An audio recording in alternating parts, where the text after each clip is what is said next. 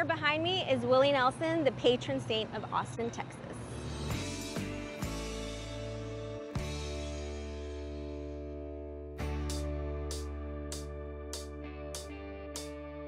I'm Denise Quintanilla, editor of Rockstar Magazine, professional fan, musical tastemaker, and unofficial host of Austin, Texas. Today, I'm gonna show you my Austin.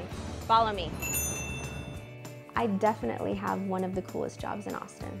I'm able to go check out live music from a vantage point that is not available to everybody. And I love sharing the view. I love sharing the story. It's more than just the music. There's constant motion. There's a creativity in the air. Whether you make anything or you're a musician or not, it's a really inspiring place to be. We're on the east side right now, and I'm gonna take you to my very favorite food truck in all of Austin, Texas. It's called La Barbecue, and there's a reason the lines are a mile long. This is Dylan, the pit master, and he's gonna show us where all the magic happens. Let's do it. Ready? Yeah. We got some briskets on for wow. Saturday. They go through over a thousand pounds of meat a day, and each brisket takes 16 hours to cook. Yeah. One of the coolest things about this place is that you can order up to two days in advance. They'll let you jump online, place in your order. That way you can get in, get out, and it's guaranteed minus the wait. Uh, we're gonna do pork ribs and brisket. Yeah, perfect, thank you. I know it might be tempting to do a sit-down dinner in a nice restaurant, but this is the way locals do it. So good.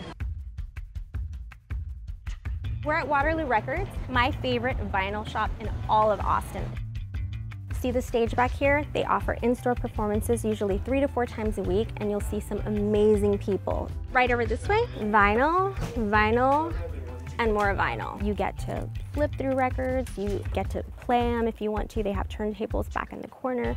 It's just completely different. So 6168 is okay. your total? You have to come to Waterloo Records.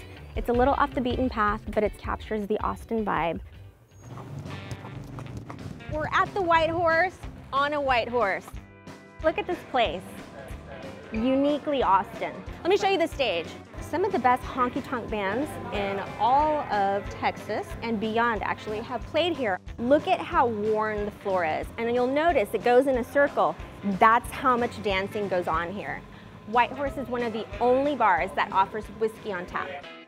So this is the Blue Starlite Drive-In Movie Theater here in Austin, Texas. It's not an experience that you can get just anywhere. They do indie flicks, cult classics, kids movies. There's something for everybody here. You know how you buy yourself candy at the movies?